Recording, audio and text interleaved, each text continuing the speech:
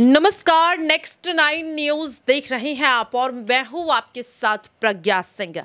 क्या वरुण गांधी अब अखिलेश का दामन थाम सकते हैं? आखिरकार डिंपल यादव से क्यों अचानक मिलने पहुँचे वरुण गांधी? ये तमाम सवाल तभी से बनते हुए नज़र आ रहे हैं जब से भारतीय जनता पार्टी ने उत्तर प्रदेश में अपनी एक और सूची जारी कर दी। इस सूची में वरुण गांधी का नाम नहीं होता, लेकिन उनकी माँ मेनका गांधी को टिकट ज़रूर दिया जाता है। और आखिरकार इस सूची के साथ वो तमाम सवाल जो अब तक बनते हुए नज़र आ रहे थे, उनके जवाब भी मिलते हुए नज़र आए कि क्या वरुण गांधी को टिकट दिया जाएगा या नहीं दिया जाएगा। वरुण गांधी की जगह जितिन प्रसाद को पीलीभीत से भाजपा ने उम्मीदवार के तौर पर उतार दिया है। और वरुण गांधी पार्टी का सम्मान करते हुए नज़र आ रहे हैं। उनके फैसले का सम्मान करते हुए नज़र आ रहे हैं। वरुण गांधी की टीम की तरफ़ से यह भी साफ़ कर दिया गया कि वे इस बार चुनाव नहीं लड़ेंगे, बल्कि अपनी मेन, अपनी माँ मेनका गांधी के लिए चुनावी प्रचार करेंगे। लेकिन इस बीच आखिरकार क्यों सोशल मीडिया पर एक तस्वीर वायरल होती हुई नज़र आ रही है। इस तस्वीर में वरुण गांधी के साथ नज़र आ रही ये महिला और कोई नहीं। बल्कि समाजवादी पार्टी के राष्ट्रीय अध्यक्ष अखिलेश यादव की धर्मपत्नी और मैनपुरी से सांसद डिंपल यादव हैं। डिंपल यादव आखिरकार वरुण गांधी से कब मिली? कैसे मिली? इस तस्वीर को देखकर हर किसी के मन में सवाल उठ रहा है। तस्वीर की सच्चाई भी बताएँगे, लेकिन आपको बताते हैं कि इस तस्वीर के वायरल होने के बाद एक बार फिर से अब ये कयास लगने शुरू हो चुके हैं कि क्या वरुण गांधी अभी भी पार्टी के खिलाफ जा सकते हैं? क्या अभी भी उनके समाजवादी पार्टी में शामिल होने की संभावनाएँ हैं?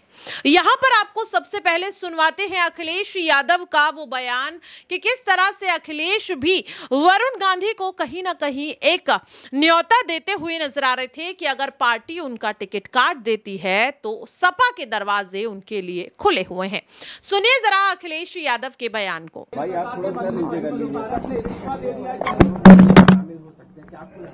दूसरी पार्टी का मैं क्या जानूं? किसकी टिकट मिल रही है किसकी कट रही है? बिहार में हमारा संगठन तय करेगा कि क्या निर्णय लेना है उसका। मोदी कैबिनेट से भारत ने लिखा दे दिया है और वो कह रहे हैं कि हमारे साथ नाइंसाफी हुई क्या इंडिया गठबंधन में शामिल होने जा रहे हैं क्या? पूरे देश की जनता के साथ अन्याय हुआ है। भारत के परिवार जितने भी उनके साथ अन्याय किया है भारतीय जनता पार्टी पहली सर संयुक्त रैली कब होगी सर आपकी? आपको जानकारी दे दी जाएगी। आपको जानकारी दे तो दर्शकों, देखा आपने और सुना भी। अब यहाँ पर आपको सच्चाई बताते हैं इस तस्वीर की। तो आपकी जानकारी के लिए बता दे कि इस तस्वीर में नज़र आ रही वरुण गांधी के साथ जो महिला है, वो डिंपल यादव है। ये सच है कि डिंपल यादव और वरुण गांधी की मुलाकात हुई, लेकिन तस्वीर को लेकर जो दावे किए जा रहे हैं वो गलत है। दरअसल ये मुलाकात अभी नहीं बल्कि साल 2023 की है। तारीख की अगर बात की जाए तो तारीख है तीन अगस्त और ये मुलाकात हुई थी संसद भवन में। दरअसल मानसून सत्र के दौरान ये मुलाकात हुई आ, सदन की लॉबी में डिम्पल यादव और वरुण गांधी अचानक से एक साथ स्पॉट किए जाते हैं।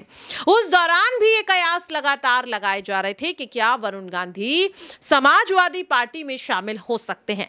लेकिन वरुण गांधी ने जो बयान अब दे दिया है, उससे ये साफ़ हो चुका है कि वे भारतीय जनता पार्टी के खिलाफ नहीं जाएँगे, बल्कि बीजेपी के साथ रहकर लोकसभा चुनाव में अपनी माँ मेनका गांधी के लिए चुनावी प्रचार करेंगे। तो यानी कि वरुण गांधी को लेकर जो तमाम कयास लगाए जा रहे हैं, इस वायरल तस्वीर के ज़रिए, वो तमाम कयास बेबुनियाद हैं और वरुण गांधी अब भारतीय जनता पार्टी के साथ साथ ही मिलकर चुनाव लड़ने वाले हैं।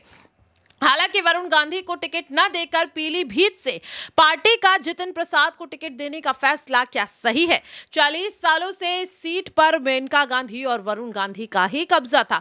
लेकिन जितिन प्रसाद को टिकट देकर कहीं पार्टी इस सीट को गवा तो नहीं देगी। इन तमाम सवालों को लेकर आपकी क्या कुछ राय है? आप कॉमेंट बॉक्स में शेयर कर सकते हैं। फ़िलहाल के लिए मुझे दीजिए इजाज़त। नमस्कार।